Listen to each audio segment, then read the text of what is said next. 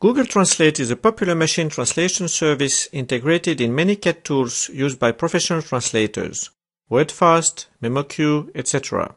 In this video, I will show you how to obtain a key for use with version 2 of the Google Translate API. In May 2011, Google announced they would deprecate version 1 of the Google Translate API and replace it with a new version available as a paid service. The old, free version is still available as a courtesy, but will be shut off on the 1st of December. However, the web-based version available at translate.google.com will continue to remain free. In order to get on board with version 2, you need to go to code.google.com. Under Developer Resources, click on APIs console. You will need to sign in with your Google account. If you haven't one, just create a free Gmail account. I sign in with my account and I click on the Create Project button. I can see a list of all services currently offered by Google under the API's console. They are listed by alphabetical order and the one I'm interested in is the Translate API. So I turn it on I agree to the terms and I click on Accept. The Translate API is now turned on. However, this is not sufficient. If I select Billing, I can see billing is not enabled. So I click on the Checkout button and I can start filling in my credit card data.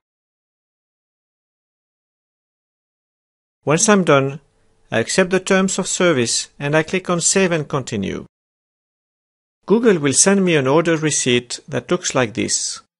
I can also see a formatted copy of the receipt. Nothing has been charged on my credit card yet. I will be charged once a month based on usage.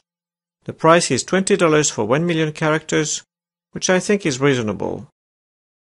If I go back to the API's console at code.google.com, I can see a summary of my project. Nothing has been charged yet, and the Translate API has no known issues right now.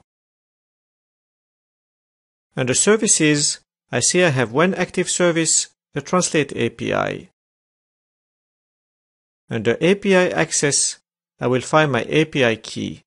This is a long string of characters I can insert in my CAT tool in order to gain access to version 2 of the API.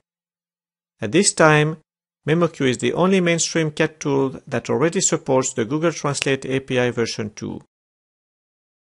Under billing, I see nothing yet because I have hardly used the service so far. Under reports, I can monitor my usage of the service. Not much yet since I just started. Let's now switch to MemoQ and see how to enter the new API key I just obtained. I select Tools, Options, Machine Translation, Options again, I tick Use API version 2, and I paste my API key in the relevant field.